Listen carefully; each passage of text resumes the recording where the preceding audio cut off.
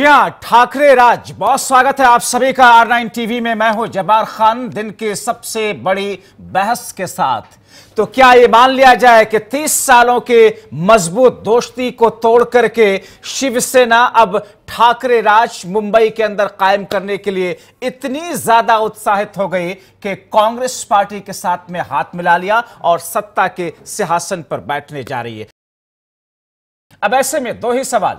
कि क्या उन्नीस सौ सड़सठ के अंदर राम मनोहर लोहिया ने कांग्रेस के खिलाफ एक ब्लॉक तैयार किया, कांग्रेस की चोले हिल गई और उसके बाद में अब शरद पवार ने कुछ वैसा ही प्रयोग महाराष्ट्र से वहाँ पर किया है, जिसमें शरद पवार की पार्टी कांग्रेस पार्टी शिवसेना एक साथ आ रहे हैं और आगे आने वाले वक्त में भारतीय जनता पार्टी को रोकने का प्रयास होगा। तो राज्य के विधानसभा के अंदर सरकार के गठन को लेकर के क्या आगे की तस्वीर भी इससे कुछ साफ़ हो रही है? इन तमाम चीज़ों पर हम चर्चा करेंगे। हमारे साथ कई सारे खास मेहमान जुड़ चुके हैं, उनका तारुफ आपसे कराए मगर इस वक्त की ताज़ा सूरत हाल क्या है महाराष्ट्र के अंदर? आइए जानते इस रिपोर्ट के ज़रिए।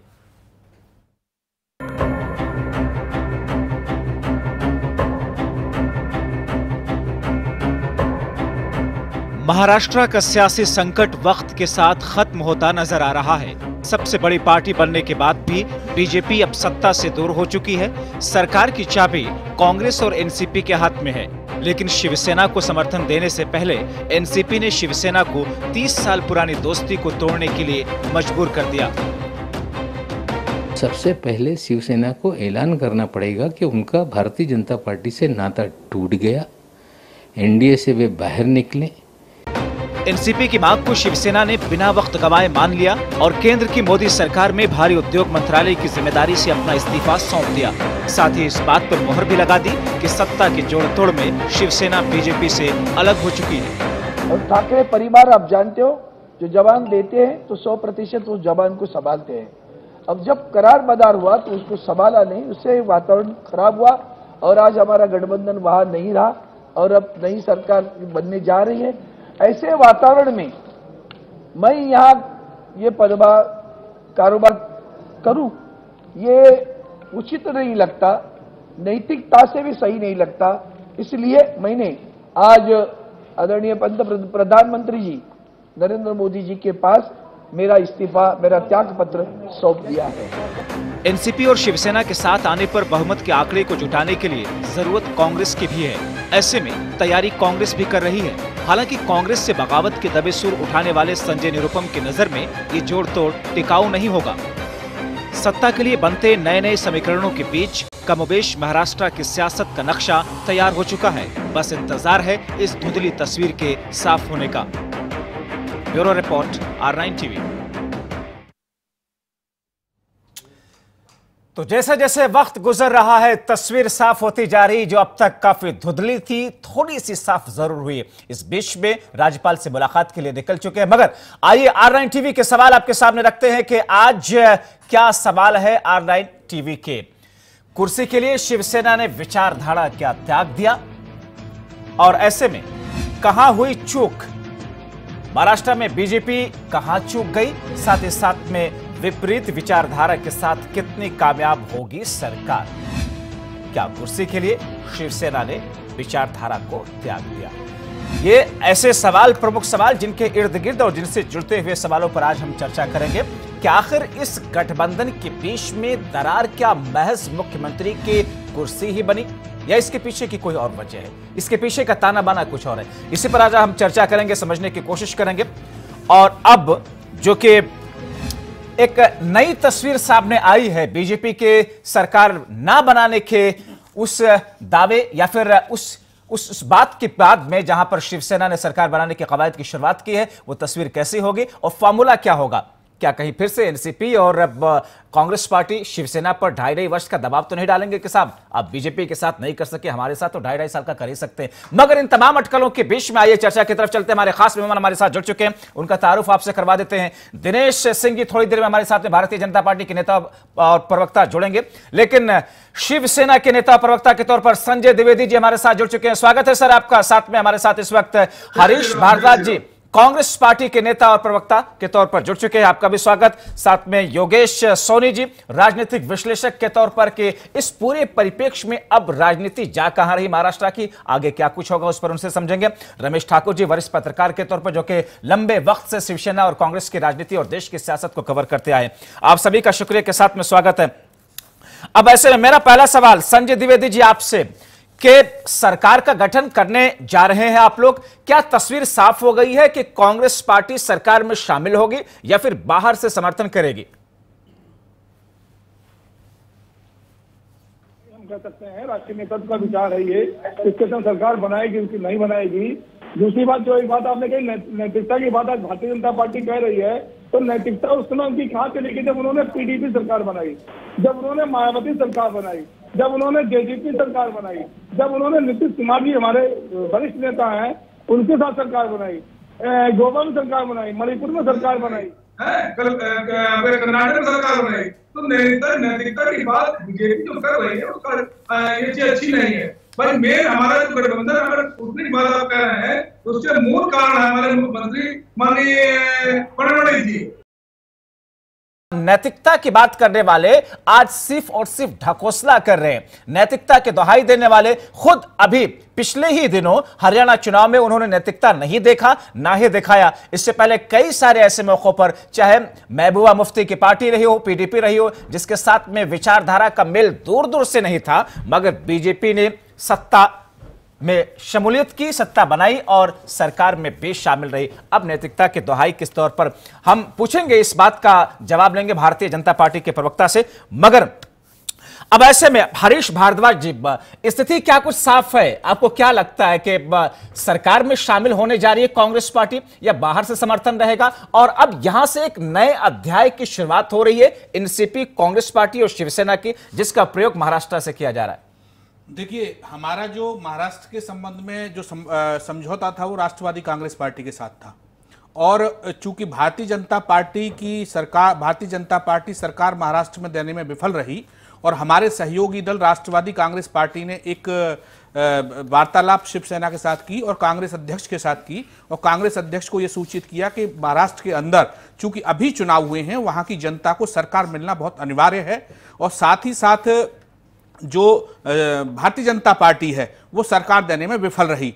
और दूसरी जो सबसे बड़ी पार्टी है शिवसेना वो मुद्दों के आधार पर साथ ही साथ कॉमन मिनिमम आधार के कॉमन मिनिमम प्रोग्राम के आधार पर जिसमें किसानों की गरीबों की मजदूरों की और अल्पसंख्यकों की बहुत सारे ऐसे मुद्दे जिन मुद्दों के आधार पर महाराष्ट्र का विकास होना है महाराष्ट्र की तरक्की होने महाराष्ट्र के आम जन की बातें होनी है। ना। पिछली सरकार के मुकाबले जिसमें शिवसेना भी शामिल थी हाँ। आपने की सरकार ने गरीबों का कल्याण नहीं किया किसानों का कल्याण नहीं किया किसान आत्महत्या करते रह गए विकास का काम नहीं हुआ उसमें तो शिवसेना हाँ लेकिन अब चूँकि कांग्रेस पार्टी ने इन सब मुद्दों के आधार पर मुद्दों के आधार पर जब राष्ट्रवादी कांग्रेस पार्टी की तरफ़ से एक प्रस्ताव आया है तो आदरणीय राष्ट्रीय अध्यक्षा जी हमारी जो विचार विमर्श कर रही हैं वहाँ महाराष्ट्र के लोगों को भी बुला रखा है और साथ ही साथ जो राष्ट्रीय नेतृत्व है वो विचार करेगा। चूँकि हमको ये सरकार बनाने के साथ साथ हमको किन मुद्दों पर हम वहाँ के किसानों को मजदूरों को जो आत्महत्या कर रहे हैं किसान उनको हम कैसे फ़ायदा पहुँचा सकते हैं? वो सारी बातें सरकार बनाने के लिए होनी चाहिए। सरकार बनती है और कोई भी पार्टी सत्ता में आती है तो इस किस्म की बातें करती है। मगर सवाल इस बात का है कि अब क्या महाराष्ट्र के इस प्रयोग को जो शरद शरद पवार के नेतृत्व में कहीं ना कहीं अब शिवसेना मुख्यमंत्री की गद्दी पर बैठने जा रही है। ये एक ऐसा प्रयोग है जिसको पूरे देश के अलग अलग हिस्सों में भी इस किस्म का प्रयोग होगा या फिर इससे एक नए अध्याय की शुरुआत देख रही है कांग्रेस पार्टी कम से कम, जो कि अभी कहीं ना कहीं बैकफुट पर दबी कुचली से बैठी हुई है। नहीं ऐसा नहीं है हम कोई प्रयोग नहीं कर रहे हम जो राजनीति कर रहे हैं सत्ता के लिए नहीं कर रहे हैं। सत्ता एक माध्यम होता है राजनीति का हमारे लिए हमारे मुद्दे महत्वपूर्ण है हमारे लिए आज भारत की अर्थव्यवस्था महत्वपूर्ण है हमारे लिए हमारे लिए सत्ता में आएँगे सत्ता में आएँगे तब तो ना उन हाँ, मुद्दों हाँ, का सत्ता समाधान निकालेंगे ना में सत्ता में तो हमें जनता बुलाएगी। और जनता को यह पता है कि भारतीय जनता पार्टी के जो जुमले थे वो समाप्त हो चुके हैं जो टाइम टाइम फिक्स हो चुका है। पूरा जितना भी उनका ढांचा था जिन्हों जो उन्होंने वायदे हिंदुस्तान की जनता से किए थे आज कुछ भी आज नहीं हुआ है। नवंबर को यह मान लिया जाए उसके 11 आधार पर- नवंबर को 11 नवंबर को यह मान लिया जाए हरीश भारद्वाज जी कि अब कम्युनल फोर्सेस और सेक्युलर फोर्सेस का कॉन्सेप्ट देश से खत्म हो गया। देखिए बात ये कम्युनल फोर्सेस का मतलब कम्युनल फोर्सेस नहीं है। कम, बात ये है कि जो व्यक्ति भारत पार्टी का भारत स्लोगन था ना भारत कि भार- बीजेपी को बीजेपी जैसे कम्युनल फोर्सेस को पीछे करने के लिए हम सेकुलर फोर्सेस को हमारा हमारा हमेशा से ये मत है जिस दिन से कांग्रेस पार्टी बनी है कि किसी भी आधार पर देश में रहने वाले हर धर्म के लोगों को समान अधिकार है। एक तरह से सोचने का अधिकार है जीने का अधिकार योगेश सोनी जी योगेश सोनी जी इस पूरे समीकरण पर आपकी पहली प्रतिक्रिया किस तौर पर इसको देखते हैं। अभी तक ज़ाहिर तौर पर जनता ने शिवसेना और बीजेपी के गठबंधन को अपना वोट किया। वोटर्स ने अपना तो वोट इस बात को लेकर के किया। लेकिन किसी भी मुद्दे को लेकर के, मुख्यमंत्री की कुर्सी को लेकर के सहमति नहीं बन सकी। तो शिवसेना कांग्रेस के साथ जा रही है। शिवसेना के वोटर्स ने एंटी कांग्रेसिज्म के उसमें तो वोट किया था शिवसेना को। देखिए, कोई भी बड़ी पार्टी होती है, वो जनता पर जिस तरीके से एक्सपेरिमेंट करती है, इसका हम उत्तर प्रदेश के परिवेश की बात करें, उपचुनाव, कुछ उप, कुछ उपचुनाव जीतकर सपा बसपा ने यही जीता था कि हम बीजेपी हम उत्तर प्रदेश में खेल कर देंगे और उनका बीते लोकसभा चुनाव में क्या हाल हुआ देखा।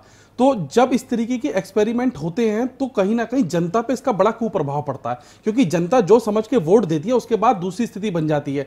अभी अ, अभी जिस तरीके से अ, मगर यहाँ पे तो थोड़ा फ़र्क है ना कि एक्सपेरिमेंट के बजाय मजबूरी है कहे कि नहीं, नहीं, सरकार बनाने के लिए यही एक विकल्प है इसके अलावा कोई विकल्प नहीं है जो किसी पार्टी के पास देखो शिवसेना का जो इतिहास का झरोका रहा है ना जैसे अभी बात कर रहे थे कि 2007 में राष्ट्रपति चुनाव में इन्होंने समर्थन करा था। इससे पहले 1980 में आम चुनाव में शिवसेना ने अपने उम्मीदवार नहीं उतारे थे 1977 में कांग्रेस के समर्थन में बीजेपी के खिलाफ प्रदर्शन किया था। अगर हम उससे दो साल पूर्व आपातकाल की बात करें तब उस उस दौरान शिवसेना ने इसका समर्थन किया था। तो इसका मिला जुला जो इतिहास का झरोका रहा है वो कभी भी अपनी वर्चस्व की लड़ाई को अपने आप को कायम करने के लिए लेकिन इस बार जब आदित्य राज को इन्होंने आदित्य ठाकरे को जब चुनाव लड़ा तो इस बार शिवसेना की जो शैली को देख के लग रहा है कि वो फुल फ्लैश आना चाहती है। वो राजनीति जो करना चाहती है है। इससे पहले वो किंग मेकर थे अब वो किंग स्वयं बनना चाहते हैं। तो यही कारण रहा कि इसकी बीजेपी से इस बार नहीं बनी।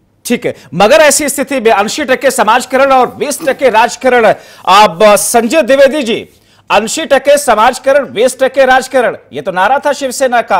बदलते बदलते इस स्थिति में पहुँच गई शिवसेना के साथ। विचारधारा का कोई मेल नहीं। कांग्रेस पार्टी आए साथ में या कोई भी पार्टी आए साथ में, सत्ता चाहिए बस। मैं बात पूछना चाहता हूँ कि अगर तीस साल से शिवसेना गठबंधन, भारतीय जनता पार्टी के साथ है तो अगर भारतीय जनता पार्टी के राष्ट्रीय अध्यक्ष द्वारा ये कहा गया कि साहब अगली सरकार जो बनेगी महाराष्ट्र में, उसमें पचास पचास का शेयर होगा। ढाई सौ राम मंत्री बने ढाई सौ राम मंत्री बनेंगे। तो जब जब फडणवीस जी को ये नहीं कहना चाहिए था कि माननीय राष्ट्रीय अध्यक्ष मैं झूठ बोल रहा है। ये तो बहुत ही बड़ा आरोप हो गया। मतलब हम आपका साथ दे रहे हैं और जो आपके साथ में नहीं है हरियाणा में जेजेपी ठीक है। ठीक है मैं ठीक है इस पर प्रतिक्रिया में इस पर प्रतिक्रिया में बीजेपी के प्रवक्ता से लूँगा लेकिन गणेश मूल्य पाटिल हमारे साथ में एनसीपी के प्रवक्ता जुड़े हुए। सर मैं आपकी तरफ़ वापस आ रहा हूँ। गणेश अमूल्य पाटिल जी सारी पिक्चर क्लियर अब है। स्थिति क्या है इस वक्त की बताएँगे सर? फ़िलहाल तो अभी ये सब कांग्रेस के ऊपर है कांग्रेस की अभी जो बैठक होने वाली है उसके ऊपर निर्भर कर रहा है। और हमारे जो नेता है उन्होंने कहा है पहले से ही कहा है कि हम विपक्ष में बैठने के लिए तैयार हैं। लेकिन ये जो स्थिति देख रहे हैं हम उस स्थिति के ऊपर हमारी पूरी तरह से हमारे हमने नज़र रखी है। और जिस तरह से अगर महाराष्ट्र के जनता के सर सर के सर इन बातों को थोड़ा वक्त हो चुका है। आज के परिप्रेक्ष्य में आइए।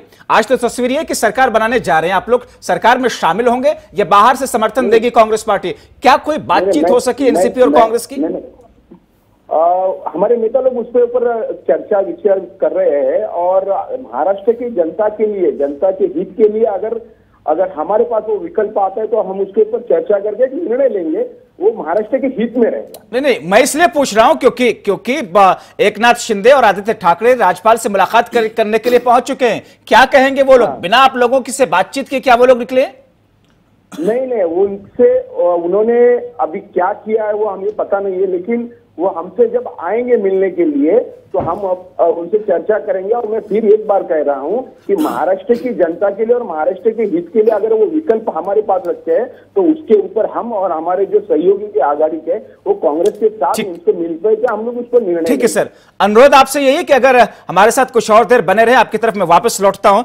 हाँ, दिनेश सिंह जी भारतीय जनता पार्टी के नेता और प्रवक्ता हमारे साथ जुड़ चुके हैं। दिनेश सिंह जी 24 तारीख को नतीजा है उसके बाद में अब तक का जिस तरीके से गहमा गहमी चलती रही, फिर आपको बैकफुट पर जाना पड़ा।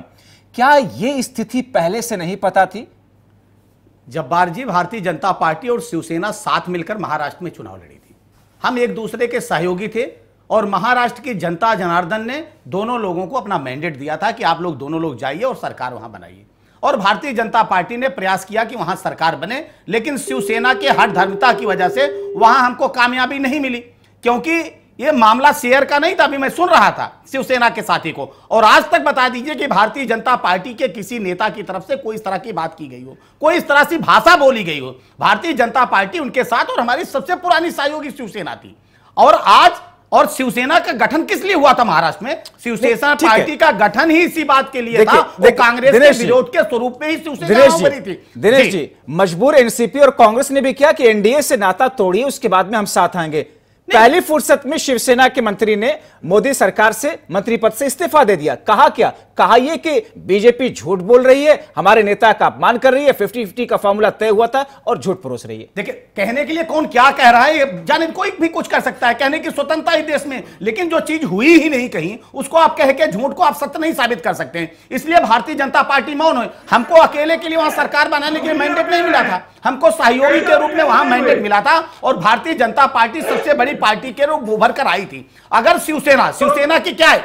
शिवसेना की एक ही धर्म हर धर्मता है कि मुख्यमंत्री हमारा हो। बस यही बात हो रही है। आपकी भी तो वही ना नहीं, मेरी बात आपकी भी हो रही। मुझे मैं किसी के बीच में नहीं जरा संजय जी मैं बोलूँगा तो आप बोल नहीं पाएँगे प्लीज़ मैंने आपको सुना ना, आप चार लोग बोले, मैं सुनता रहा। अब मैं बोल रहा हूँ तो जरा आप सुन लीजिए, मेरी किसी भी बात का कोई एतराज़ हो संजय जी तो आप निश्चित तौर पर अपने समय पर उसका जवाब दीजिएगा। सुन लीजिए, जरा सुनिए, उसके बाद जवाब दीजिएगा अच्छा जवाब दे मैं, अरे जरा सुन लीजिए ना, उसके बाद जवाब दीजिएगा।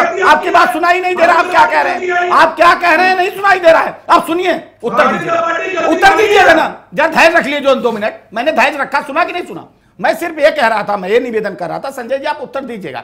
जब आप, आपकी एक ही हट धर्मता है कि नहीं, हमको मुख्यमंत्री चाहिए। और हमारे कांग्रेस के साथी ने भी क्या कहा? उन्होंने कहा कि हमारे लिए सत्ता जो है, वो राजनीति का माध्यम है। लेकिन भारतीय जनता पार्टी के लिए सत्ता जो है सेवा का अवसर है। हम उसको सेवा के रूप में लेते हैं आप उसको सेवर और राज सेवा और राजनीति के रूप में लेते हैं। तो निश्चित तौर पर आप लोग शेयर संजय जी, अभी अभी जब्बार द्विवेदी की एक प्रतिक्रिया जब्बार जी, जब्बार जी। और वो शेयरबाजी हो रही है। अभी आप सरकार का गठन होने दीजिए नहीं सुनिए अभी सरकार का गठन होने दीजिए। अभी कैसे सौदेबाजी होगी? क्या जब्बार जी आप चाहते थे कि भारतीय जनता पार्टी भी सौदेबाजी पे आ जाए? भारतीय जनता पार्टी हमारे लिए महाराष्ट्र फिर साहब, फिर महाराष्ट्र का महाराष्ट्र हरियाणा के लिए आप कहेंगे हरियाणा के लिए आप क्या कहेंगे जम्मू कश्मीर के लिए आप क्या हाँ, बहुत अच्छा सवाल। नहीं, जवाब दीजिए जवाब दीजिए। मैं क्या कहूँ जवाब लीजिए। अगर आपने सवाल खड़ा किया तो जवाब दिया जी रहा हूँ। आपकी तरफ़। नहीं बिल्कुल अगर आपने सवाल पूछा है तो हंड्रेड परसेंट जवाब मैं देने के लिए बैठा हूँ हमने जम्मू कश्मीर में क्या किया? बिल्कुल, हम समान विचारधारा के नहीं थे। आज भी मैं कहता हूँ, एक नदी के दो किनारे थे, जो आपस में कभी नहीं मिल सकते थे। लेकिन जम्मू कश्मीर की जनता ने हमको ऐसा मैंडेट दिया कि इससे ज़्यादा हमको मैंडेट मिल नहीं सकता था। पूरी जम्मू जम्मू रीजन की सारी सीटें हमको दी, लेकिन हमारी बहली की सीट नहीं आई। हम, पहले सुन लीजिए, संजय जी, आपको बीच में बोलने की बीमारी है, मैं एक शब्द नहीं बोलता हूँ बीच में। जब्बार जी ने सवाल मुझसे पूछा है मेरा नाम दिनेश सिंह है। संजय जी, मैं आपकी तरफ़ वापस आ रहा हूँ। आपकी तरफ़। जी। मैंने कहा कि वहाँ ना चाहते हम नहीं चाह रहे थे। लेकिन ना चाहते हुए वहाँ कोई विकल्प नहीं था जब्बार जी आप कोई विकल्प बता देते तो यही तो हमने शिवसेना भी कह रही है सर, कि हम नहीं चाह रहे, हमें प्लान बी की तरफ़ जाने दीजिए। उनके पास विकल्प है सुन लीजिए ना। क्या विकल्प अंतर बता रहा हूँ मुख्यमंत्री पद से कॉम्प्रोमाइज कर ले यही विकल्प सुन लीजिए ना आप या तो आप ही जवाब ठीक है, ठीक है सर। मैं बैठ जाता ठीक है सर। हमने कहा कि मेरे वहाँ विकल्प नहीं था और हमने सोचा कि शायद हम साथ जाएँगे तो जम्मू कश्मीर का कुछ हम डेवलपमेंट करेंगे। हमने पूरी की कोशिश की ईमानदारी से लेकिन जब नहीं बन पाया तो हमने सत्ता को वहाँ लात मारी। दूसरी आपका दूसरा प्रश्न हरियाणा का है। हरियाणा की जनता ने भी कहा कि भारतीय जनता पार्टी अकेले यहाँ सरकार नहीं चलाएगी। उनका जनादेश था कि आप सरकार चलाएँ। और महाराष्ट्र में क्या अंतर है? महाराष्ट्र की जनता ने कहा था कि भारतीय जनता पार्टी और शिवसेना मिलकर चुनाव लड़ी है ये मिलकर सरकार बनाए। ये जनादेश वहाँ दिया था। हरियाणा में जनादेश तो आपकी नज़र में। शिवसेना ने झूठ बोला आपकी नज़र में शिवसेना ने हटधर्मी की और सिर्फ़ सत्ता के लिए मुख्यमंत्री के लिए सिर्फ़ और सिर्फ़ बीजेपी को एक तरीके से बीजेपी के गठबंधन से अलग हो आप संजय द्विवेदी जी संजय द्विवेदी जी संजय जी। द्विवेदी जी एक सेकंड में आ रहा हूँ सर संजय जी जल्दी से एक प्रतिक्रिया। आपकी पार्टी झूठी है हटधर्मी कर रही है और सिर्फ़ फ़ायदे के लिए राजनीति कर रही है। पार्टी गोवा में सबसे बड़ी कांग्रेस पार्टी है। मैंने नारायण ज़बरदस्ती मुख्यमंत्री बनाने के लिए तोड़फोड़ करके अपनी सरकार बना ली। तब इनकी नैतिकता कहाँ गई थी तब इनकी नैतिकता कहाँ गई थी आज अगर शिवसेना ने कहा है कि हमारी बात हुई है अमित शाह जी से माननीय अमित शाह जी आप वहाँ बैठे थे संजय जी। आप बैठे थे मीटिंग में। आप बैठे थे मीटिंग में। आप बैठे थे मीटिंग में। हमारे किसी नेता की तरफ़ से इस तरह की कोई प्रतिक्रिया नहीं है। यही शिवसेना और भारतीय जनता पार्टी में यही मूल प्रकृति में अंतर है। यही मूल प्रकृति में अंतर है। आज भी बैठकर आज भी मैं बैठ के कह रहा हूँ शिवसेना और भारतीय जनता पार्टी की विचारधारा एक थी। इसीलिए महाराष्ट्र की जनता ने भारतीय जनता पार्टी और शिवसेना को मैंडेट दिया था। आपको इसलिए मैंडेट नहीं दिया था आप एनसीपी के साथ जाइए। आपको मैंडेट इसलिए नहीं दिया था कि आप कांग्रेस के साथ जाइए। आप उनका विरोध कर रहे थे आप इसलिए दो सीट जीत कर आए। अगर आप विरोध ना करते नहीं तो आपको जनता को जवाब देना होगा। भारतीय जनता पार्टी को संजय जी जवाब देने की ज़रूरत नहीं है। आप महाराष्ट्र की जनता को जवाब दीजिएगा। महाराष्ट्र की जनता आपसे जवाब मांगेगी। हम नहीं जवाब मांगेंगे। ठीक है, हम ठीक है, जवाब नहीं ठीक है, मांगेंगे। ठीक है, हम जवाब नहीं रमेश ठाकुर हमको यही ठीक है, मैं- मैं एक- मैं- चुनाव में जाते ठीक है, ठीक है, जल्दी से। हैं। हरीश जी, जल्दी से, जल्दी से। चुनाव में जब्बार जी मैं दिनेश जी की बड़ी बौखलाहट और छट छटपटाहट देख रहा हूँ और उनको कहता हूँ कि थोड़ा सत्ता का मोह त्याग दीजिए। बहुत छटपटाहट और बौखलाहट सिंह जी आपके अंदर है। आप में थोड़ा धैर्य रखिए। कुछ भी दे दिया, धैर्य रखिए। कुछ त्याग करना राजनीति के लिए कुछ त्याग करना सीखिए।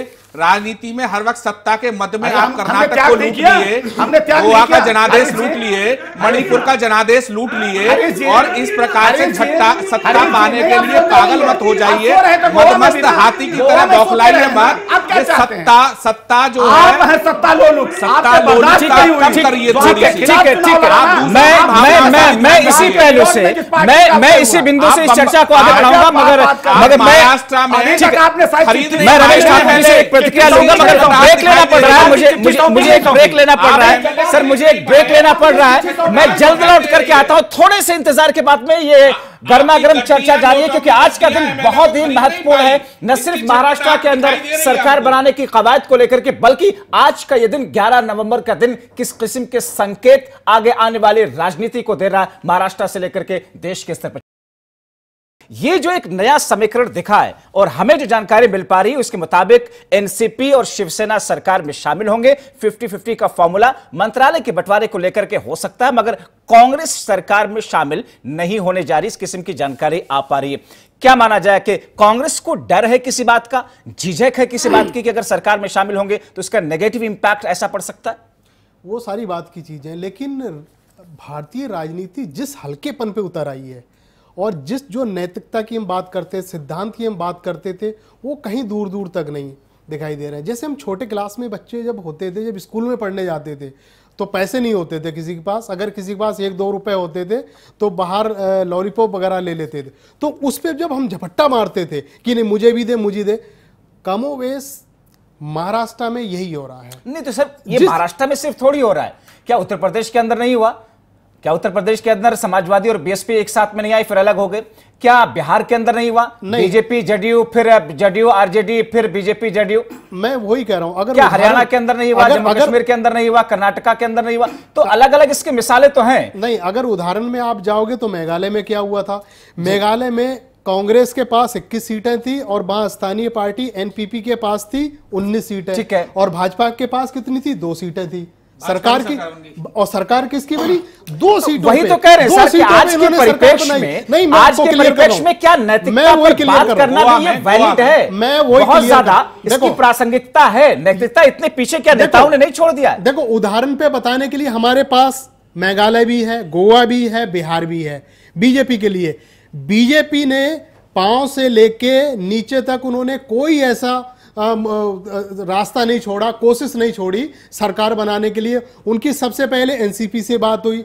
कुछ लोगों ने, लेकिन बीजेपी का जो थिंक टैंकर है, आज की डेट में बहुत बड़ा है। उन्होंने पीछे से कहा, जनाब, अगर आप एनसीपी के पास जा रहे हो तो एनसीपी के पास जाने का मतलब है आपने कांग्रेस से गठबंधन कर लिया। कांग्रेस दोनों एक पार्टी है, ये लोग पीछे हो जाते हैं। अब बात आ जाती है शिवसेना की। शिवसेना ने जिस तरीके से वो कोट कर रहे हैं ये हमारे बयान नहीं हो सकते। उन्होंने कहा जब चुनाव से हम मगर इससे पहले एनसीपी का सहयोग तो ले चुकी है बीजेपी। नहीं आप मैं वही कह रहा हूँ देखो सियासत जो होती है ना वो भविष्य नहीं देखती है। आज की सियासत वर्तमान देखती है। वर्तमान में मेरा फ़ायदा दिनेश सिंह के साथ में है जब्बार जी के साथ में सोनी जी के साथ में वो वो चीज़ें देखी जाती है। हमारा फ़ायदा किससे है? नुकसान हमारा दिनेश सिंह जी से हो जाएगा इनसे हो जाएगा वो कोई नहीं देखता है। आप पूरे एपिसोड में अगर देखो तो इसमें उनका क्या कसूर है? महाराष्ट्र की जनता का क्या कसूर है? क्या महज ढाई ढाई साल या 50 50 फॉर्मूले को भारतीय जनता पार्टी ने इतना नापसंद किया कि सबसे बड़ी पार्टी होने के बावजूद उसने शिवसेना से अलग होना पसंद किया, मगर मुख्यमंत्री का पद देना गवारा नहीं किया। ऐसे में मजबूरी क्या थी? डर किस बात का था? कैसे इसको मैं आपकी तरफ़ आऊँगा? दिनेश सिंह जी, मगर इसको कैसे समझे? योगेश सोनी जी। जी, देखिए, अभी ठाकुर साहब ने बहुत अच्छी बात कही, जो आजकल भारतीय राजनीति की जो स्थिति है, वो बड़ी लालचीपन की हो गई है और जो जनता है, इसका प्रभाव उन पे पड़ता है। हम देखो तकनीकियों में, इतिहास में जाए, कब किसका गठबंधन रहा, किस राज्य में किससे सरकार बन रही लेकिन आज स्थिति अगर महाराष्ट्र के महाराष्ट्र के परिवेश में देखें तो लोगों के अंदर वो कुंठा है, जो उत्तर प्रदेश में सपा बसपा गठबंधन के बाद बनी थी। जब हम उत्तर प्रदेश में रिपोर्टिंग के दौरान देख रहे थे, सपा बसपा गठबंधन के वो कार्यकर्ता इतने कट्टर होते थे, जो आपस में भिड़ जाया करते थे। बावजूद इनको जब पता चला गठबंधन है तो उनके अंदर वो ऊर्जा नहीं थी। एक साझा, एक प्रेस कॉन्फ्रेंस, एक रैली तक उन्होंने नहीं करी थी अंत तक। लास्ट में एक या मात्र दो रैली करी थी। ऐसी स्थिति, चूँकि अब यहाँ चुनाव हो चुके हैं, ये एक साथ लड़ चुके हैं तो आज यहाँ स्थिति दूसरी है। अगर हम देखें कि कांग्रेस के साथ गठबंधन करना या राकपा के साथ करना, ये एक एक केवल स्पष्ट दिखता है कि केवल लालच की स्थिति है और मुझे लगता है कि ऐसी चीज़ों को तो लेकर लालच की स्थिति तो सभी पार्टियों के सामने खड़ी रही। वही बता लालच में बीजेपी नहीं अभी- है? ठाकुर साहब ने बात कही ना नहीं है, जो राजनीति- कांग्रेस नहीं है। नहीं मैं वही कह रहा हूँ सबकी है मैं कह रहा हूँ राजनीति की जो स्थिति मैं ऑल ओवर कह रहा हूँ मैं पर्टिकुलर या बीजेपी का समर्थन या कांग्रेस की कोई मैं यहाँ पर वो नहीं कर रहा हूँ मैं ये कह रहा हूँ जो स्थिति है जो आज के परिवेश की राजनीति जिस दौर में जा रही है क्या इससे कुछ भविष्य कुछ बनने वाला क्या इससे कुछ तरक्की की बातें होंगी लेकिन नहीं हर आदमी हर पार्टी को अपना वजूद, अपना वर्चस्व बड़ा चढ़ा के दिखाना है, उसको बेचना है। इस तरीके की स्थिति से कहीं ना कहीं कहीं ना कहीं शिवसेना को क्षति होगी, मेरा ऐसा मानना ठीक है, शिवसेना को क्षति होगी, मगर संजय द्विवेदी जी, आज जो कुछ हुआ है, आपने केंद्र से अपने मंत्री को वापस बुला लिया। इधर आप कांग्रेस के साथ मिलकर के सरकार बना रहे क्या यह परमानेंटली एक तरीके से भारतीय जनता पार्टी से शिवसेना का तलाक तलाक तलाक हो चुका है? आप किसी भी कीमत पर शिवसेना बीजेपी वापस नहीं लौटने वाले हैं। यह सोच करके आज का यह फैसला लिया गया है या अभी आगे कुछ भी हो सकता है? संभावना बनी रहेंगी। तीन तलाक पे बैन लग गया है। तो तीन तलाक तो नहीं हो सकता। है जो आप कह रहे हैं तलाक तलाक तीन तलाक में बैन लग गया है। माननीय मोदी जी ने बैन लगाया तो आपने आपने 24 तारीख से लेकर के अब तक का एक प्रोसेस अपना लिया ना कि हमने कोशिश की हमने संभावनाओं को तलाशा नहीं हुआ। जी। ही। देखिए, क्यों कर रहे थे। देखिए राजनीति में माननीय बाला साहब ठाकरे ने माननीय कभी झूठ नहीं बोला। अगर माननीय उद्धव ठाकरे जी ने सबसे बड़ी जो बात हुई है मान फडणवीस की तरफ़ से वो ये हुई है कि साहब ये झूठा है। ढाई साल की बात नहीं होती। दूसरा मैं सरकार बनाने जा रहा हूँ। देखिए हम तीस साल जब गठबंधन में है ये पूरी सब जानते हैं जब गठबंधन की कोई परंपरा नहीं थी तब एक गठबंधन बनाया गया था। तब से मेरा लगातार नहीं तो एक लाइन में कहिए ना कि गठबंधन तोड़ने की वजह क्या सिर्फ़ मुख्यमंत्री की कुर्सी है सर? संजय द्विवेदी जी गठबंधन तोड़ने के इतने बड़े फैसले के पीछे क्या सिर्फ़ मुख्यमंत्री का पद? वो भी ढाई वर्ष के लिए। सुन लीजिए 2014 में भारतीय जनता पार्टी ने शिवसेना अलग अलग लड़ी थी तो भारतीय जनता पार्टी ने एनसीपी से मिलकर सरकार बनाई थी। शिवसेना इसके बाद सपोर्ट किया न मुख्यमंत्री पद मांगा न कोई मंत्रालय मांगा पाँच साल पूरे सरकार चलाई क्या गलत किया। हमने अपना धर्म निभाया और अगर ये कोई जनता ही सोचे कि हमने धर्म नहीं निभाया है। एक दस लेके आता आदमी ठीक है ठीक है ठीक है मैं इस पर मैं आपकी ही बात पर जरा है। दिनेश सिंह जी से एक प्रतिक्रिया ले लूँ। सर इतनी सरल भाषा में इतनी सरल चीज़ें बता रहे कि साहब हमने तो कोई महत्वाकांक्षा दिखाई ही नहीं थी। 2000 ठीक है। ठीक है सर पिछली सरकार में कोई महत्वाकांक्षा हमने नहीं दिखाई। इस बार अगर हम अपना हक मांग रहे हैं तो उसमें भी भारतीय जनता पार्टी को दिक्कत हुई और इतनी दिक्कत हो गई कि हमारे इस तीस साल पुराने रिश्ते को बीजेपी ने टूट जाना मंजूर समझा मगर यह चीज़ दिया नहीं। देखिए भारतीय जनता पार्टी में यही अंतर है। हम सिद्धांतों के साथ समझौता नहीं करते हैं। पहले जरा एक मिनट संजय जी फिर बीच में नहीं बोला ना। संजय संजय जी बीच में बोला। संजय तो जी- या तो तय कर लीजिए ऐसे हमारे संजय जी, आप बोल रहे हैं कहीं मैं बोलना बारी चाहूँगा पे तो आप बोले। बोल पाएँगे क्या संजय जी? आपके बीच में मैंने बोला क्या? जरा सुनिए आपके बीच में बोला क्या? जरा सुनिए अब ना। जब आप प्रश्न खड़ा करिए तो उत्तर लेने की क्षमता होना चाहिए। आपने कहा जरा अरे सुन लीजिए आप। अरे सुन लीजिए अब ना। अभी अभी अभी आपकी सरकार बनी नहीं हो सत्ता मन में इतने चुर मैं सिर्फ़ ये निवेदन कर रहा था कि आपने कहा कि तीन तलाक लागू हो गया इसलिए अब कांग्रेस एनसीपी के पास तलाक नहीं होगा। ये तीन तलाक तब लागू हुआ था जब आप भारतीय जनता के साथ पार्टी के साथ आप थे तब तीन तलाक था आप चले गए। भारतीय जनता पार्टी का इतिहास रहा है कि भारतीय जनता पार्टी सिर्फ़ गठबंधन करती नहीं है गठबंधन धर्म को निभाती भी है। हम वो गठबंधन वाले हैं कि जो गठबंधन धर्म को निभाते हैं हमारा साथ छोड़कर नीतीश भी गए थे। गए थे लालू के साथ। लेकिन क्या हुआ? लौट के आना पड़ेगा नहीं होना पड़ा। आप उनके साथ जा रहे हैं जाइए आपको मुबारक हो। महाराष्ट्र की जनता के लिए अभी आप घोषणा करेंगे तो हम उसका स्वागत भी करेंगे। तो नीतीश सेवा तो इस वक्त भी तलवारें अभी आप-। अभी आप इंतज़ार अभी हम नहीं कह सकते हैं क्योंकि अभी आपने ऐलान नहीं किया अभी आप ऐलान करने दीजिए। मैं कहूँगा लेकिन दूसरी चीज़ है कि देखिए दो आप अन्य राज्यों का जब्बार जी जो उदाहरण दे रहे हैं उसमें बेसिक अंतर क्या है? कि हम नीतीश के साथ गए। आप कह रहे हैं कि हम हरियाणा में फला के साथ गए हम महाराष्ट्र में इनके साथ गए। अब ये बेसिक इसमें अंतर क्या है महाराष्ट्र के गठबंधन में? हमारा जो अलायंस है अरे संजय जी फिर आप बोल देते हैं आप दो मिनट का समय संजय जी सुन लेते हैं आपकी तरफ़ मैं वापस आता हूँ। सुन लेते हैं इसकी बात इनकी बात। आपको ठीक है बोलना है ठीक तो। ठीक है सर। दिक्कत क्या है इसमें हम दोनों लोग मिलकर सात चुनाव लड़े हैं।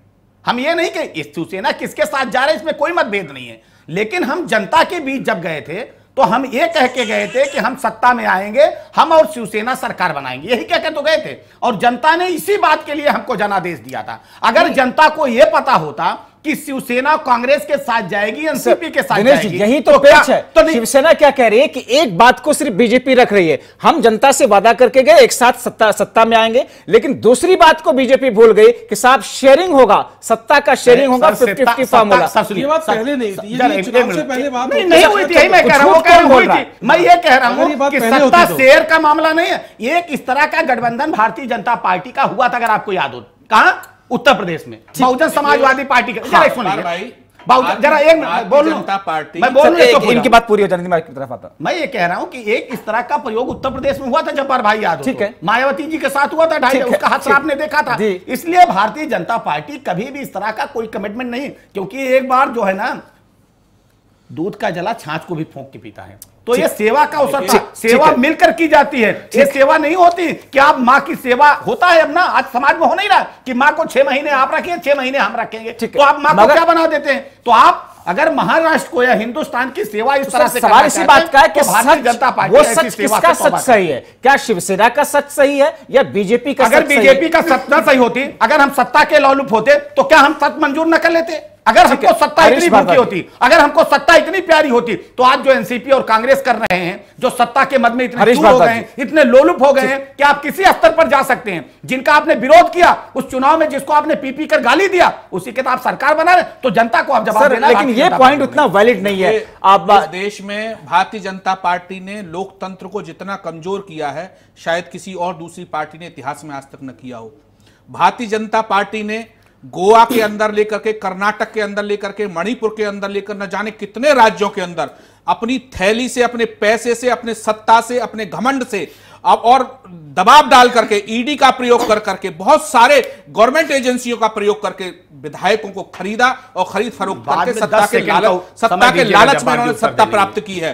और साथ में ये ही भारतीय जनता पार्टी के लोग महाराष्ट्र में भी ऐसा सपना पाल के बैठे थे और वो सपना उनका पूरा नहीं हुआ ठीक है। इस अब वजह से ये का सत्ता जवाब से बाहर है। और ये सत्ता के इतने लालची है। कि ये महाराष्ट्र में मुख्यमंत्री की कुर्सी के लिए अपने अलायंस को भी तोड़ सकते हैं। इससे ये सिद्ध होता है कि ये भारतीय जनता पार्टी कोई त्याग तपस्या बलिदान या श्यामा प्रसाद मुखर्जी की पार्टी नहीं है।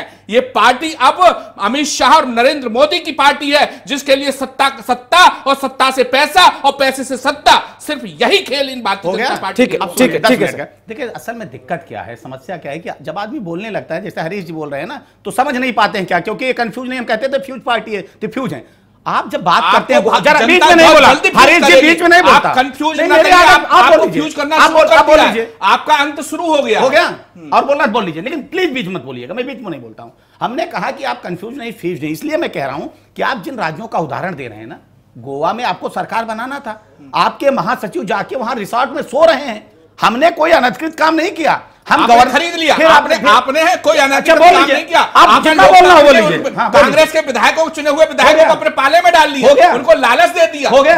आपने मंत्री बना दिया ठीक आपने है, पैसे हो ठीक है। हो गया वो हमने सबने देखा। नहीं, सर, वो जब दुनिया सर, ने जय- तो कहिए उसी तरह से या तो आप कहिए ऐसे तो से। मैंने है। ठीक है, हरीश जी सर, हरीश जी, हरीश जी, आपकी तरफ़ आ रहा हूँ। मैंने दस सर, आ रहा हूँ। ठीक है। दस सेकंड दस सेकंड हरीश जी, हरीश जी, एक सेकंड। जब सुना। जाता दस सेकंड मांगा था पाँच सेकंड जल्दी से। मैंने ये कहा हम ना बोलते तो बात खत्म हो जाती हमने ये कहा कि आप जाके गोवा में सोए आपको कर्नाटक में सरकार बनाने और चलाने का अवसर मिला लेकिन आपने मुख्यमंत्री को रुलाया हम कहा कुछ कर रहे थे हम तो आप अपने विधायकों के लिए- विधायकों फिर बीच- में बोले ठीक- है सर, ठीक है सर। मैं- मैं- ठीक है, ठीक है सर। क्या? ईडी का ये प्रयोग बीमारी है आपको CBI का प्रयोग किया, बीमारी है सरकार पाने के लिए। शब्द आपके बीच में नहीं बोलता हूँ, जैसे मैं बोलने लगता हूँ, आपने दुरुपयोग किया। ये- ये कांग्रेस का- सत्ता ये का सर, दुरुपयोग क्या- किया ठीक है सर, ठीक है सर, ठीक है, दिनेश सिंह जल्दी से, दिनेश सिंह सुन रहा हूँ लेकिन पता नहीं क्या दिक्कत हो जाती दिनेश है। साहब आप क्या सुनाएँगे दो जिसके विधायक आए मैं बोलूँगा, बोल नहीं दो पाएँगे। विधायकों आप बोलिएगा, आप आपसे पूछेंगे, मैं उत्तर दूँगा। करके आपने जब ठीक है, ठीक है, हरीश जी, हरीश जी, मैं आपकी तरफ़ आ रहा हूँ, दिनेश जी, दिनेश मैं कह रहा हूँ जब सर, बात जल्दी आपसे पूछेंगे मैं उत्तर ठीक है, सर, दिनेश जी, बात कर रहे हैं। मैंने कहा आपको अवसर मिला। आपको कर्नाटक में अवसर मिला लेकिन आप अवसर को खो दिए। इसका मतलब आपके विधायक बिके ना। हाँ, तो अब अवसर खरीदे। सर, एक सेकंड, एक सेकंड। हमको अगर मैं बिकते ना अगर आपको अवसर नहीं मिला है हाँ, अवसर अब आपको मिला है। अभी तक तो आपने कहा आपने कहा है। है, आपने कही है आपने दिया चिट्ठी क्या? अभी तक घोषणा आपने किया नहीं और आप कह रहे हैं हमको अवसर मिला। नहीं, अरे हो जाने दीजिए अभी। अवसर हो जाने दीजिए अरे दस मिनट रुक जाइए होने तो आपने। राजनीति का एक सेकंड, एक सेकंड, ठीक है, है, सर, ठीक है, जो सर। जो कमज़ोर हुआ हरीश जी जो कांग्रेस का हस्त हुआ है ना इसीलिए हुआ है। कांग्रेस का कोई असर नहीं क्या हुआ है? ये राजनीति- स्थिति है राजनीति में सबसे बड़ी पार्टी होते थे सबसे लंबे आप दो सीटों पर थे। कितनी हाँ। बिल्कुल। ठीक है हरीश एक सेकंड एक सेकंड। ठीक है ठीक है एक सेकंड एक सेकंड। रमेश ठाकुर जी को लाया जाए ठीक है एक सेकंड सर। सर एक सेकंड। ठीक है आप दोनों लोगों को मैं रोकना चाहूँगा। एक सेकंड क्या क्या रहे हैं। रमेश ठाकुर जी क्या क्या। रमेश ठाकुर जी क्या महाराष्ट्र वर्सेस दिल्ली की इस लड़ाई को, क्या शिवाजी शिवाजी वर्सेस दिल्ली की लड़ाई को बना दिया कि उस वक्त में दिल्ली ने शिवाजी को जो है समर्थन नहीं किया या सहयोग नहीं किया और एक क्षेत्रीय अस्मिता को शिवसेना ने जोड़ दिया है और जो कि शरद पवार का ये पूरा गेम प्लान है। देखिए, इसमें पूरी अगर कहानी में देखें तो एक पार्टी को दोष नहीं दोगे। ना कांग्रेस को दे सकते हो, ना बीजेपी को दे सकते हो। क्योंकि पूरे माहौल में अगर देखें तो सारी पार्टियाँ खींचतान कर रही हैं कहाँ किसको क्या मिलने वाला है कहाँ किसकी क्या संभावना बनने वाली है सब कुछ है। लेकिन बीजेपी एक प्रयोग करके चल रही है पूरे मामले में। बीजेपी इस समय कुछ भी कर सकती थी क्योंकि अगर हमने चार पाँच राज्यों की अगर बात करें जिस तरीके से जोड़ तोड़ के और इन्होंने अपने हिसाब से सरकार बनाई तो यहाँ पे भी ऐसे कर सकती थी। लेकिन बीजेपी एक प्रयोग करके इसलिए चल रही है अगर ये कुछ टाइम ये दो या चार छः महीने ये शांत बैठेंगे क्योंकि देखना चाहते हैं कि शिवसेना क्या सहज रहेगी कांग्रेस के साथ में? शिवसेना क्या सहज रहेगी एनसीपी के साथ में? क्योंकि ये तीनों पार्टियाँ एक दूसरे की कट्टर रही हैं। अगर कुछ सालों को पहले देखें तो। अगर ये सारी चीज़ों को देखे बीजेपी का रोल आज नहीं बीजेपी का रोल चार पाँच छह महीने के बाद ऐसा शुरू होगा अभी- अभी ऐसा शुरू होगा चाह रहा हूँ हम डिबेट करेंगे बीजेपी ने जो फैसला लिया और फिर बीजेपी ने जो फैसला लिया बताएँगे बीजेपी ने जो शिवसेना को समर्थन नहीं दिया या फिर मुख्यमंत्री की कुर्सी नहीं दी और उसके बाद में सत्ता से बाहर हो गई इसके पीछे की बड़ी वजह क्या देखते हैं? देखिए वजह सामने निकल के नहीं आ पाई हैं। सबके मुँह हैं सबकी बातें हैं। बीजेपी कुछ और कह रही है शिवसेना कुछ और कह रही है। बंद कमरों में कुछ ऐसे सियासी जो मुद्दे होते हैं जिन पे बात होती है वो हम तक नहीं पहुँच पाती है। लेकिन शिवसेना ने जिस तरीके से कहा जब हम चुनाव में जा रहे थे तो इस उस समय भी इनकी खींचतान हो रही थी सीट बंटवारों को लेके। उस समय क्या हुआ जैसे तैसे सीटों पे इनकी बात बनी। अब शिवसेना ये कह रही है कि उस समय 50 50 का मामला हुआ था। ढाई साल आप चलाओगे ढाई साल हम चलाएँगे। इसका एक वीडियो भी आ चुका है जो शिवसेना की तरफ़ से जारी हुआ है और उसमें फडणवीस साहब खारिज कर रही है कि साहब ऐसी कोई बात ही नहीं हुई थी। हाँ, और और इसलिए शिवसेना झूठ बोल रही है। हम झूठों के साथ नहीं रहेंगे। शिवसेना ने आज कहा कि साहब हमारे नेता का अपमान किया बीजेपी ने झूठ बोला हम झूठों के साथ नहीं रहेंगे। मगर ऐसे में योगेश सोनी जी ये स्थिति चूँकि मैं ये तो महाराष्ट्र की सियासत और कुर्सी तक पहुँचने का एक तो हुआ मगर आगे का समीकरण आप कैसे देख रहे हैं? क्या एक एंटी बीजेपी एक ब्लॉक महाराष्ट्र के अंदर तैयार किया जा रहा है, जिसका असर देश के दूसरे हिस्सों में, क्योंकि शिवसेना अगर इस पाले में आ रही है तो फिर लोकसभा चुनाव हो या फिर विधानसभा चुनाव भी महाराष्ट्र का हुआ आप सरकार बनाने को लेकर के जो सारी चीज़ें चल रही है, इसको क्या उस नज़रिए से देखा नहीं जा सकता? शरद पवार का गेम प्लान कि आगे कैसे बीजेपी को घेरा जाए। देखिए जो आप बात कह रहे असली चुनौती तो यही है कि अब इसका आगे इंपैक्ट क्या होगा क्या इफ़ेक्ट इसका होगा। अभी आपने ठाकुर साहब से पूछा था कि आखिर किस वजह से हो रहा है। इससे पहले जब शिवसेना थी वो हमेशा किंग मे, किंग मेकर की स्थिति में रहती थी। इस बार वो स्वयं इस बार सीट पद लेना चाहती है इस बार खुद किंग बनना चाहती है तो समीकरण वहीं से बिगड़े। क्योंकि इससे पहले इनकी दो पीढ़ी में कभी भी इस तरीके की राजनीति में एंटर नहीं करा था। पहली बार ऐसा देखने को पड़ रहा है कि अपनी नई पीढ़ी में आदित्य ठाकरे को इन्होंने प्लांट करा और उस तरीके से वो चाहते हैं कि वो सत्ता में आए और सत्ता का सुख इस तरीके से डायरेक्ट आगे भोगे तो स्थिति यही है कि समीकरण जब बिगड़ते हैं जब ऐसी स्थिति पैदा होती है निश्चित तौर पर समीकरण बिगड़ते हैं फिर उसके बाद क्या गलत क्या सही क्या इसका इंपैक्ट पड़ेगा ये कभी कोई पार्टी नहीं देखती और ये हम हालिया चुनावों में देखते आ रहे हैं। पिछले कुछ चुनावों में तो हमने देखा कि जो वाकई कट्टर दुश्मन होते थे जिनकी हम एक कल्पना भी नहीं करते थे वो इस दौर में दोबारा एक साथ आए हैं जिसकी वजह से जनता कहीं ना कहीं कुंठाग्रस्त रहती है और चुनौती चेतावनी जनता के लिए भी उतरी रहती है उनके लिए भी उतरी रहती है। ठीक है। और ऐसे में जेडीएस का एक तंज भी आया। आज मैं रमेश ठाकुर जी समझना चाह रहा हूँ कि जेडीएस ने कहा कि अगर समर्थन कांग्रेस पार्टी दे रही है तो पाँच साल तक कांग्रेस पार्टी को परेशान नहीं करना चाहिए। यानी कि वो अपनी पीड़ा को उन्होंने ज़ाहिर भी कर दिया जिससे लोगों का भरोसा वापस लौट सके कांग्रेस पार्टी के ऊपर। यह तंज है कटाक्ष है नसीहत है या फिर मशवरा? उनको पता है ना कुछ महीने के बाद में उनके साथ में भी ऐसा होने वाला है। क्योंकि वहाँ चुनाव हो गए वहाँ भी स्थिति ऐसी बनने वाली है। बिहार में भी तुमने देखा था आरजेडी के पास जब 80 सीटें होती थी और बाकी बीजेपी के पास अ, कम सीटों पे ये दोनों मिलके सरकार बना लेते थे। लेकिन नीतीश कुमार की जो राजनीति है वो भी हमारे सबके सामने है। लेकिन ये जो पूरा माहौल इस समय हो रहा है तो मुझे कहीं ना कहीं मेरी ये अपने व्यूज़ हैं कि बीजेपी को अपना एक अच्छा सा रोल इसमें प्ले करना चाहिए था। क्योंकि अगर देखें तो आप तो रोल क्या हो सकता है? रोल तो क्या यही मतलब ऑप्शन तो कुछ था नहीं बीजेपी के पास देखिए बीजेपी दरअसल इस समय इसलिए नहीं बोल सकती है उन्होंने विगत कुछ सालों में कुछ राज्यों में इन्होंने कम सीटें होते हुए सरकार बनाई। अब यहाँ पे भी ऐसे करती तो ये सवालों के घेरे में आ जाते हैं। होता क्या है? अगर आप पैरा पंद्रह का अगर पढ़ोगे आप पॉलिटिक्स को सही से अगर समझोगे तो होता क्या है, राज्यपाल की जो ऐसे मौके में सबसे बड़ी भूमिका होती है। राज्यपाल उसी को मौका देता है जो सबसे बड़ी पार्टी होती है उसके नंबर ज़्यादा होते हैं। इस लिहाज से नंबर किसके साथ तो वही हुआ बीजेपी ना के साथ बीजेपी को बुलाया फिर शिवसेना को दिलाया फिर उसके बाद let me complete let me complete इसके बाद क्या होता है? जब राज्यपाल के सामने सब चीज़ें आ जाती हैं तो राज्यपाल उस समय अपने विवेक से फैसला लेता है। पहला मौका देता है बड़ी वाली पार्टी को, दिया, बुलाया, इन्होंने मना कर दिया। मना करने के पीछे कई सारे राज छुपे होते हैं। फिर दूसरे दिन क्या होता है, शिवसेना को बुलाया जाता। शिवसेना ने दोनों पार्टियों को मिला के आगे एक पर्चा बढ़ा दिया जाता। ये सारे समर्थन में हमारे पास सरकार बनाने का मौका दिया जाएगा। लेकिन वहाँ अभी मेरे आपके चैनल में आते आते मेरे दो तीन बड़े पत्रकारों से बात हो रही थी कि ये माहौल जो है, ये माहौल सिर्फ़ राष्ट्रपति शासन लागू करने का है। क्योंकि वहाँ की जनता इतनी उगता चुकी है जनता ने चाह ही नहीं था कि मगर मगर की सरकार 160 बने। सीटें 160 विधायक तो इकट्ठा हो रहे हैं ना शिवसेना एनसीपी कांग्रेस और छह अदर्स को मिलाकर के। तो फिर राष्ट्रपति शासन का सवाल कहाँ से आएगा? जब राष्ट्रपति शासन की तो कोई संभावना हो ही नहीं जब्बार सकती। होता क्या एक रस्सी होती है बड़ी उसमें हाँ, गांठ नहीं होती है। जनता पार्टी अगर एक रूप से कुछ करना चाहे सत्ता पर अपरोक्ष रूप से काबिज होना चाहती है तो ऐसी परिस्थिति में ऐसे ऐसे क्रियाकलाप करना की उनका आदत बाएँ हाथ का है, खेल लेकिन है लेकिन महाराष्ट्र की स्थिति है ऐसा लग रहा है जैसे दुकान सज रही हो मतलब बोली लग रही आप है, देखिए मगर मगर बिहार ठीक है बिहार के अंदर हम लोग इस कार्यक्रम के आखिरी हिस्से में बिल्कुल वक्त खत्म हो रहा है है। बिहार के अंदर। आरजेडी कांग्रेस और अ, अ, को समर्थ के साथ नीतीश कुमार को सम, बहुमत मिला। लेकिन भारतीय जनता पार्टी ने अनैतिक रूप से नीतीश कुमार पर दबाव बना के पता नहीं क्या राजनीति थी। उन्होंने सरकार बना ली। दिनेश सिंह जी एक चीज़ तो साफ़ थी और उसको चेताया था शिवसेना ने कि अगर हमें मजबूर करोगे हम प्लान बी के का पाप करना नहीं चाहते। यानी कि शिवसेना कांग्रेस एनसीपी और कांग्रेस के साथ हम जाना नहीं चाहते मगर आप लोग हमें मजबूर कर रहे हो। ये तो आप लोगों को पता था ना। कि अगर ऐसा होगा तो यही होने वाला है। नहीं, देखिए तो फिर फ़ायदा बीजेपी का क्या है बिल्कुल जब्बार जी असल में क्या है कि जो चीज़ शिवसेना कह रही है वही आप भाजपा पे लागू करिए। कि उन्होंने कहा कि अगर आप हमको मजबूर करोगे तो हम वहाँ चले जाएँगे। क्या भारतीय जनता पार्टी के पास ये ऑप्शन नहीं था? हम भी जा सकते थे ना।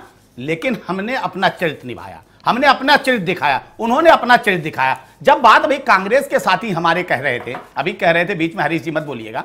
आपने कहा कि हमारा इतिहास ऐसा हम ऐसा कर सकते हैं हम ऐसा हमने नहीं किया। तो आप आरोप लगा रहे हैं। हम करें मतलब आप करें तो रासलीला है और भारतीय जनता पार्टी कर दे तो करेक्टर जरा करेक्टर ढीला। प्रयास किया आपने। ठीक है, दिक्कत है, कहाँ है? समस्या संजय हैं।